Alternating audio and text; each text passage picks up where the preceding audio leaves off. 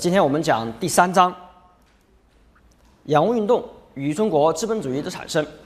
这一章呢，我们主要讲授十九世纪的六十到九十年代中国所发生的洋务新政，以及呢这个时期经济的变动和思想文化领域的变化。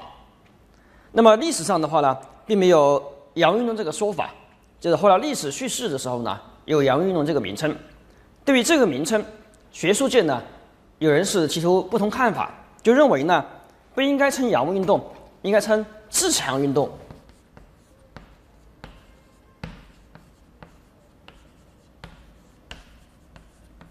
也有学者称呢是近代化工近代工业化运动。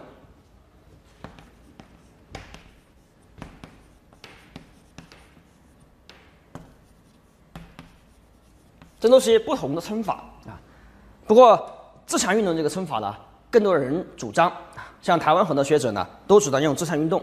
大陆有些学者提出了用自强运动，不过我们习惯上呢，还是称洋务运动啊。这里就是有一个翻译啊，一个翻译，简单的一个翻译啊。自强运动呢，有 self-strengthening movement。同时，这个时段呢，还有另外两个。专业专业的名词，我们需要注意的，一个是什么呢？就是同光新政。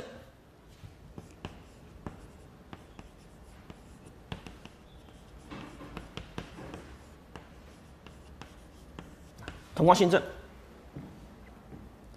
另外还注意就是同治中心。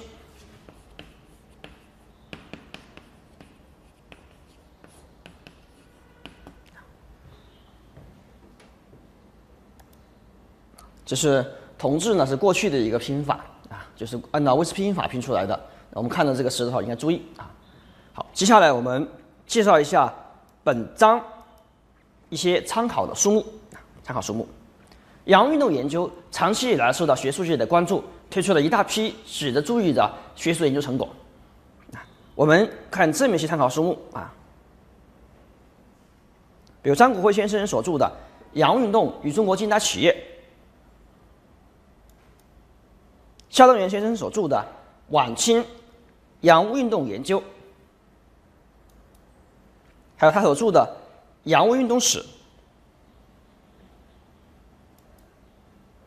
许泰来教授所著的《洋运动新论》这本书呢，是一个论文的结集。在二十世纪八十年代重新评价洋务运动的时候呢，他提出一些新的观点，今天看起来还是有参考价值的。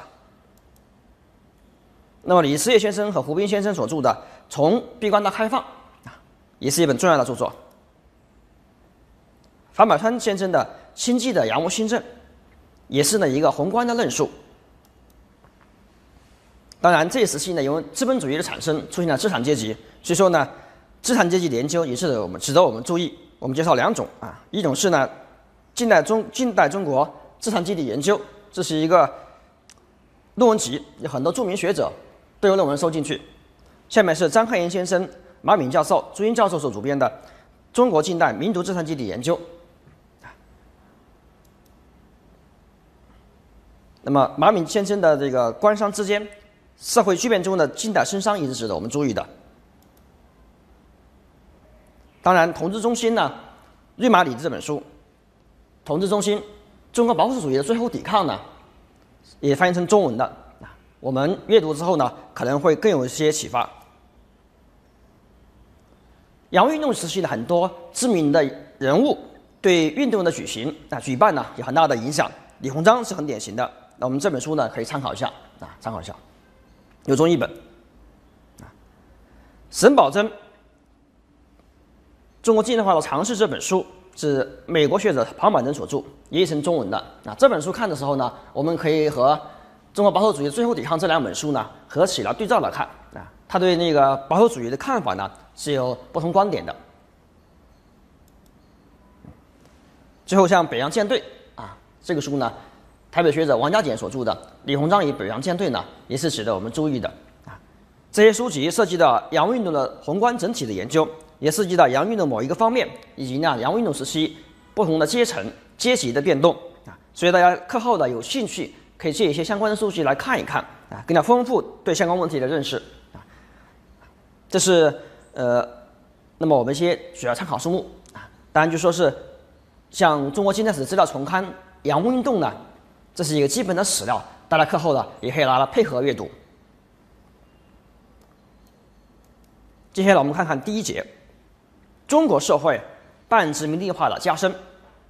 这一节呢，既是讲中国社会的半殖民地化的进程的一个表现，同时也是讲解洋务运动所发生的深刻的社会历史背景，啊，也就是说洋务运动发生的社会环境。洋务运动所发生的这个环境呢，第一个方面就是外国侵略者对清政府的控制。那么怎么进行控制呢？它和一八六零年以前的情况呢有所差异。也就是说，在十九世纪的六十年代以后呢，各国对华的侵略呢有这么一个变化，就是说出现了一个相对和平的局面。这种局面的出现，我们要看到了是由两个原因所决定的。第一个是什么呢？那就是中国国内的情况。我们知道，在十九世纪六十年代以后呢，太平天国起义和联军起义。相继的被平定下去，国内呢出现了所谓的中心的局面，这是从国内来看。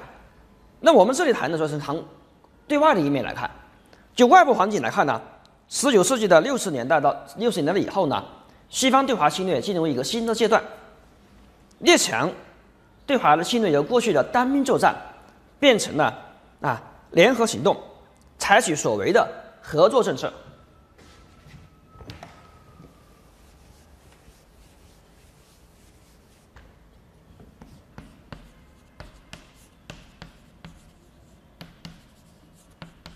那么，什么是合作政策呢？这个政策首先是由美国驻华公使所提出来的啊，提出来以后呢，得到了英国、俄国、法国等国的支持。这个政策呢，具体来说包括两个方面内容。第一个呢，就是支持新政府巩固它的统治，并利用这个半殖民地政府呢，来维护各国在华的利益。那维护这个在华利益同时呢，又从清政府手中攫取更多的政治、经济等方面的特权。第二个内容就是列强在侵华的重大问题上呢，彼此进行协商、合作。采取一致的侵略步调，所以在这个背景之下呢，我们就看到了十九世纪的六十年代呢，出现了一个小国缔约的热潮。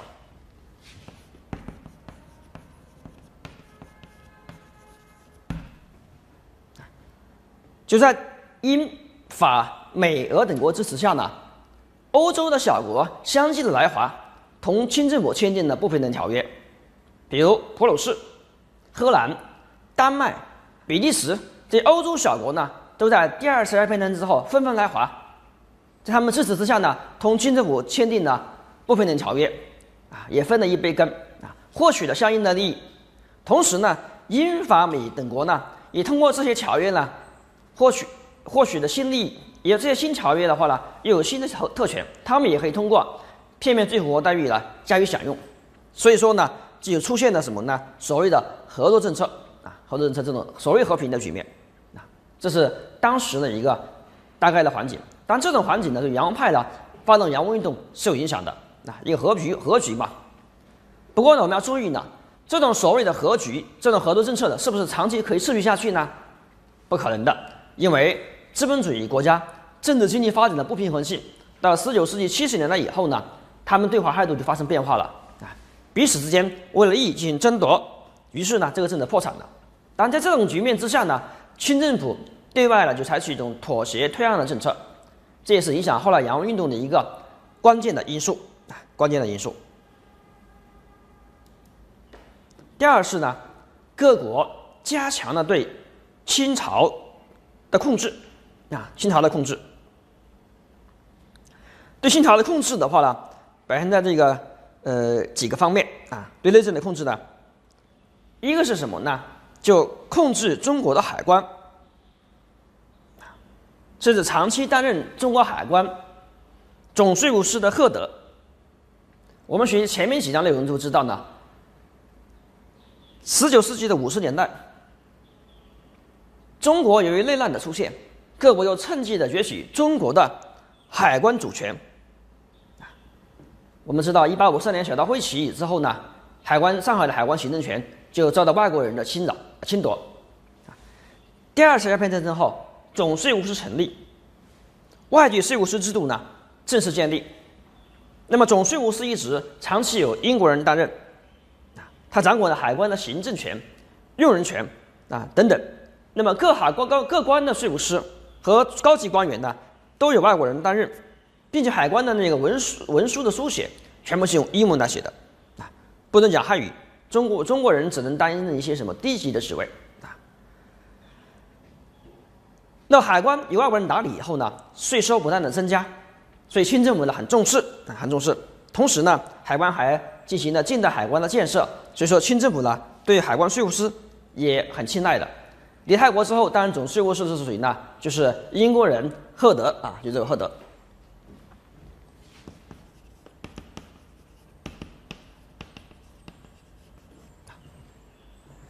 赫德呢，从一八六三年到一九零八年，长期担任总税总税务司，他不仅把持海关的行政。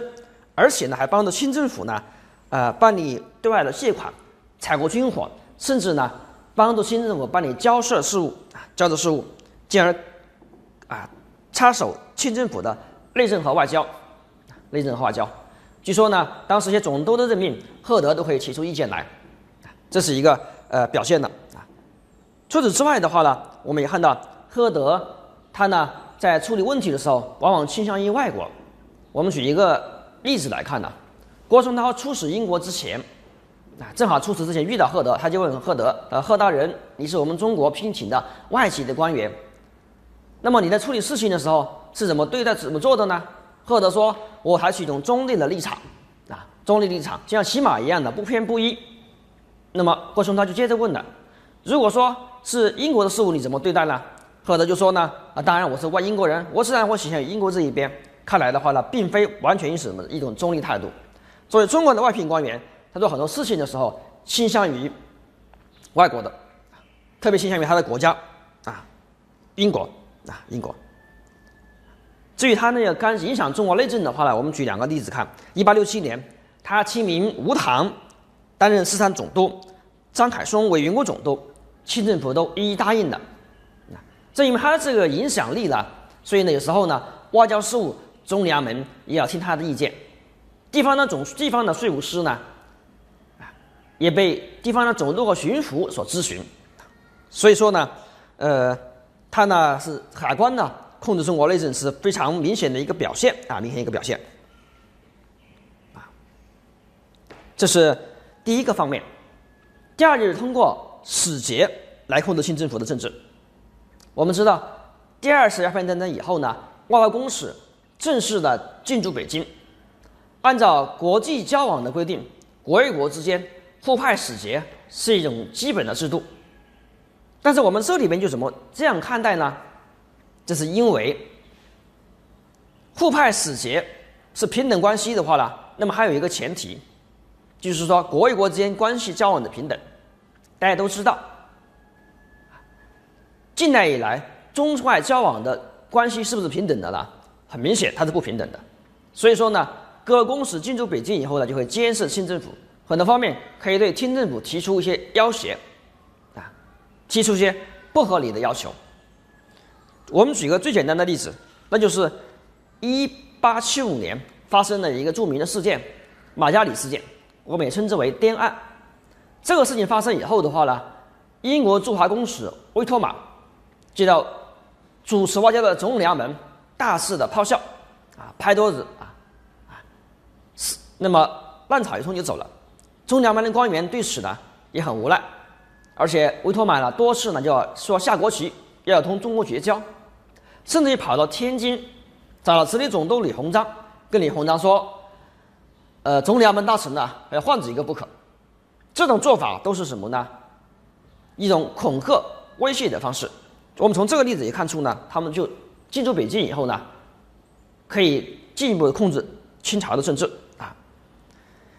第三个表现是什么？就是说各国呢一些在华人员向清政府提出一些改革的建议，通过这种改革的建议呢，来控制清政府啊，适应各国的侵华要求。最典型的是，一八六五年，赫德向清政府提出了一个局外旁观论。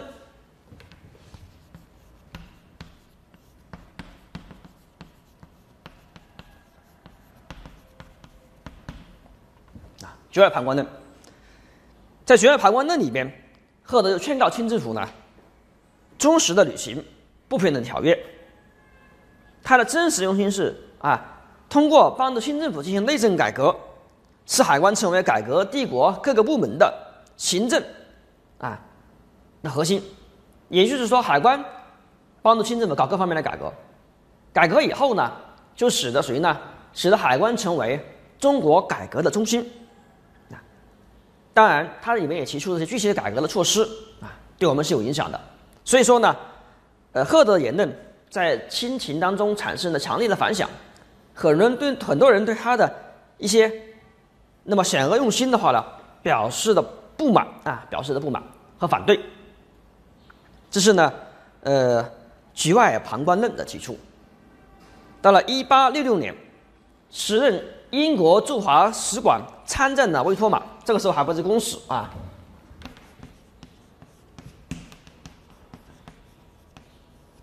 他呢只做英国驻华使馆的参赞，他就向清政府提出了新义略论啊，新义略论。他建议清政府呢内修政治，外独有益。什么是内修政治呢？所谓的内修政治，就是要清政府呢适应。列强侵华的要求，同意各国在中国修筑铁路，啊，辐射电线，训练海陆军，啊，如果军队军费不足的话呢，可以向外国借款。那么，所谓的外多有益是什么东西呢？所谓的外多有益，就是要清政府呢，切实保证各国在华的一切权益，完全按照他们的要求办事。但如果不这样做的话呢，就会引起各国的干涉。那他说，一国干涉呢？各国呢就会联合起来，他说：“那么中华的天下的话呢，就会被各国所瓜分。那么就充分暴露了他想通过改革这种方式呢，凌驾于清政府的是清政府之上，啊，清政府之上，达到操纵中国的内政和外交的目的。那么上面这些这个建议和说贴的话呢，其实呢，在一定程度上呢。”刺激了清政府进行改革，但是清政府一些重要的官员也认识到呢，他们的改革目的的背后啊是想干什么呢？是想进一步啊控制中控制中国政府，所以遭到不少人的反对。赫德不光光有一个局外旁观论，一八七九年还提出了一个调防海调成海防章程，企图呢总揽中国的海防大权，遭到清朝官员的反对。到了一八八四年，他又提出了一个啊一个建议，我们称之为续旁观论，也有也也可以称之为旁观之论二，又提出了一些改革的建议。到一八九八年，他又提出了旁观末论啊，在历史上著名的旁观三论啊。当然，洋务运动时期的话呢，就两次啊两次啊，一个是这个主要旁观论，再一个续旁观论，另外还有一八七九年的一个调成海防章程。啊这些都反映了外国人表面上干呃关心中国政治，希望呢清政府改革，实际上是怎么想的？实际上他们是想通过改革这种方式呢，控制清朝的那个内政啊，控制清朝内政。这是各国呢加强对清政府的控制啊，想通过海关啊，以及呢驻华使节，还有提出各项建议。第三就是说。各国呢争相介入中国的外交事务，这个怎么说呢？我们知道，呃，近代以来，中国走向世界，走进国际大家庭，这个步骤呢是比较缓慢的。那么第二次鸦片战争以后呢，中国就被迫的要走向世界了，外国公司进驻北京了，那清政府呢迟迟都没有派出驻外使节，为什么？这里面一个重要原因，就是因为考虑到礼仪的问题啊。按照传统天朝体制呢，外国公使进驻，外国外国人到中国要见皇帝的话，要进行三跪九叩的大礼。当时同治帝还小，没有亲政，所以说呢，这个事情往后摆了一下，往后拖了。那么中国中国的官员如果出去怎么对待呢？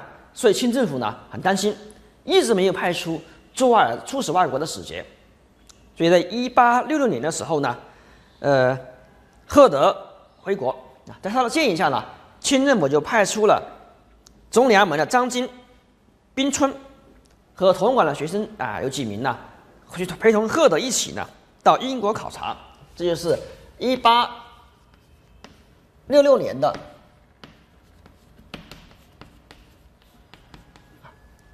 冰川访问团，这是第一次啊出去的，但这不正式，跟赫德一起呢去访问。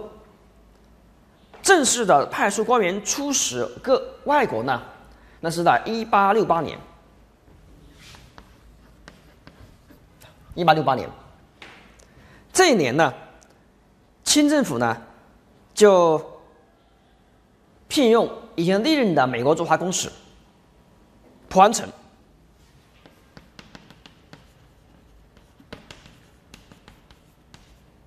请他代表中国啊出使各国。聘他以后呢，很担心，如果英法有意见怎么办？所以又聘了英国人柏卓安、法国人德善为左右协理，也派出一些官员啊，像海关道志刚、礼部郎中孙家谷为随员，组成这一支奇怪的代表团呢，出使欧美各国啊，像美国、英国、法国啊、俄国等国呢十余国。历时两年之久，啊，一八六八年七月的时候呢，蒲安成还代表中国政府同美国签订了中美续征条约，啊，续征条约，条约里面有规定呢，中美两国可以自由往来居住、优待游学，可以设立学堂，啊，等等一些内容，啊，等等一些内容。那么按照国际法的规定的话呢，蒲安成作为美国人，代表中国政府同美国签订条约，这是违背国际法规定的，啊，违背国际法规定的。那么通过这个条约呢，美国也获得了相应的权益。后来这个使团的话呢，呃，到了俄国以后呢，蒲安成死掉了，那么就英国和法国两位两个人呢带领使团啊，完成了这一次使命。这个对新政府呢，感觉呢，哎，我们也可以出使外国是没问题的啊。这是一八六八年，我们看到，因为外国人代表作为中国外交使团的代表呢，出使啊西方西方国家。经过两次外交活动以后的话呢，一八七零年。清政府派出了第一个正式出使西方的官员，那就是满人崇厚。啊，崇厚，呃，崇厚呢，在鸦片第二次鸦片战争之后呢，曾经做过北洋三湖大臣，有一定的外交的经历，所以清政府就派他去了。他这一次出使法国呢，是什么原因呢？我们都知道，在一八七零年天津发生的天津教案，他是为这个事情呢去。道歉的啊，道歉的，这是反映出我们出使外国呢有这么一个特定的因素。到了一八七五年，清政府呢决定呢正式派出郭松涛啊出使外国，这是中国历史上第一个正式的驻外公使啊驻外公使。但是我们看到了郭松涛出使外国的出使英国的时候呢，还兼有另外一个使命。就是要为一八七五年的马加里事件道歉的啊，马加里事件已经称为颠案，为这个事情去啊道歉的啊道歉的。所以说呢，我们一步的派一步步的走向世界呢，都受到外国人的影响和干涉影响和干涉。后来我们看到的，一八七六年以后的话呢，派出的何如章作为驻日公使啊，这也是跟日本的青台之役有一定关联的。因此，我们看到我们一步步走向世界。啊都是啊，很被动的啊，受到外国人的影响和干预。这是呃，这些活动呢，既是洋务运动的一个重要表现，而且也反映出中国社会的一个半殖民地化啊，步步维艰。这是我们讲的那个呃，他的对中国政府的控制。第二个重要表现就是什么呢？各国对华经济侵略的深入啊。各国对华经济侵略的深入呢，是在第二次鸦片战争以后呢，不断的加强的。在十九世纪的六十到九十年代，西方对华的经济渗透，是由沿海到内地是不断加强的，波及的范围啊，影响的程度呢是都是不断扩大。那么这个扩大呢，有一个重要背景，第一个背景就是什么呢？通商口岸的增多。第二次鸦片战争之后，通过部分的条约，各国获取了很多新的经济的权益，通商口岸呢增加了一十六个。此后呢，通过更多的不平等条约，口岸不断的增多。在甲午战争爆发以前，中国被迫开放的口岸呢达到了三十四个。所以说呢，各国对华侵略就可以通过通商口岸不断向内地进行渗透。啊，这是一个那么通商口岸的开放的问题。即使中国社会开放，也是什么呢？各国侵华的深入。从国际上来看呢，我们看到。中外的交通通信的便捷，因为各国侵入中国啊，产生很大的影响。我们看到，一八六九年的时候，连接地中海和红海的苏伊士运河开通，这样呢，中西之间的交通呢，海上交通呢，缩短了路线。啊，原来我们说要经过什么呢？要经过呃好望角啊，绕到非洲，到那个什么呢？印度洋到亚洲来。现在的话呢？直接通过苏伊士运河，欧洲到那个远到那个东方呢，路程呢缩短了约四分之一，这是海上交通。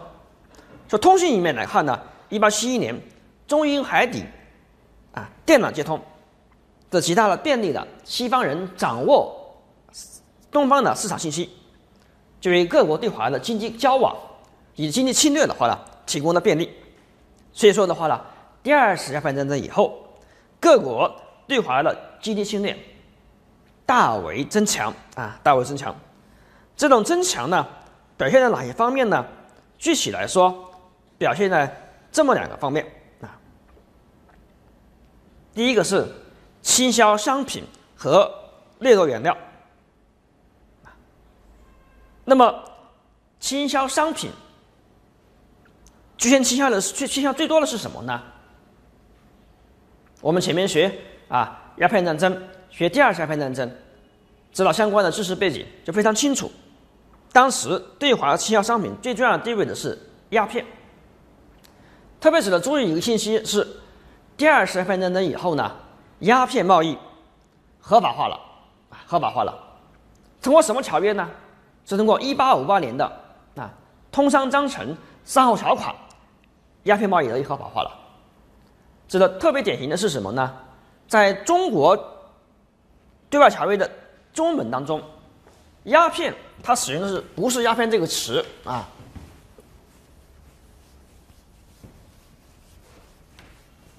而使用的是洋药啊，使用洋药这个词。但是英文本里边一样的还是鸦片啊，opium。这反映出各国的话呢，用毒品呢毒害中国，啊，进一步打开中国的市场，获取利益。仅次于鸦片的商品就是棉纺织品、毛纺织品和金属制品，啊，其中呢，棉纺织品的增长最快。这种棉纺织品的增长、输入的增长呢，对中国影响是很大的，它沉重的打击了中国的手工纺织业。这是商品的输入对中国的影响，当然我们也很清楚了。那时候呢，各国对华经济渗透的影响呢，主要范围在哪里呢？它并不是说啊，整个中国都是这样波及的。那么重要地区是在通商口岸及其附近地区啊，通商口岸及其附近地区。这是商品输入一面来看。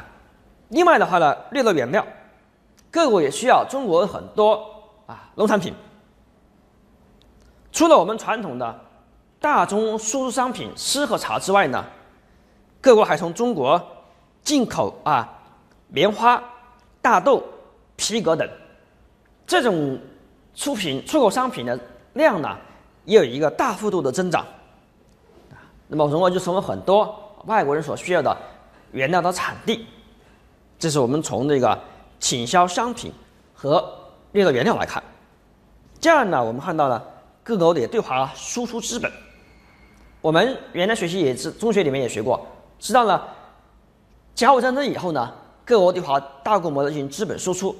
那么是不是以前就没有了？在那个甲午战争以前呢，一个十九世纪的六十到九十年代，各国对华也有资本输出的这个情况。那么当时的资本输出呢，我们可以从三个方面来看。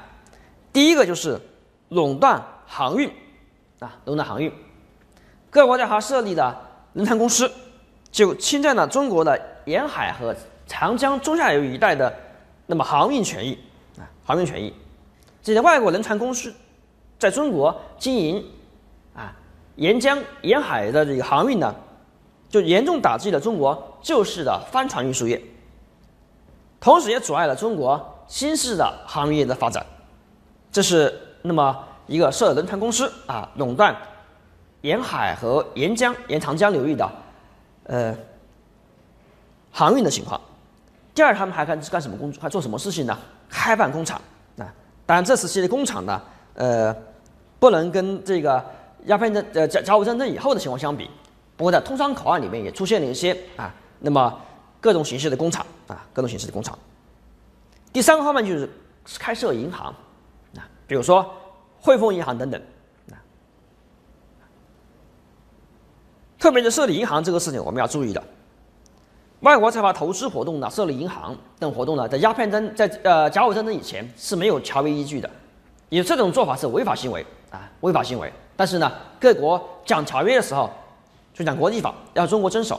那么维护自己的利益的时候，你就超出条约范围，侵犯更多的权益啊，更多权益。这些呢，都是值得我们啊注意的。说明外国人侵华的时候呢，并非啊坚持什么所谓的国际法，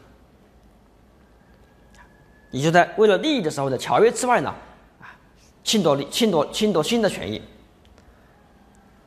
不过我们总体来看呢。在甲午战争以前，各国在华的资本投入呢，资本输出呢，并不是一个占主导地位的啊经济侵略。